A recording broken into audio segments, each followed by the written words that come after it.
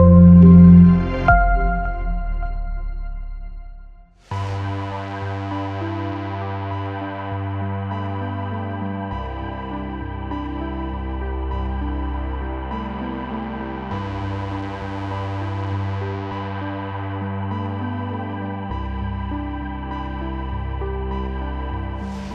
is the cast diamond puzzle, manufactured by Hanayama, made of cast metal by American designer Scott Elliott.